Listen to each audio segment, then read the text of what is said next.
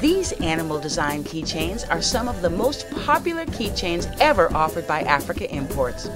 You will own a keychain that has been hand carved from durable cow bone or horn. The animal designs give you something fun and interesting that others will notice and enjoy too.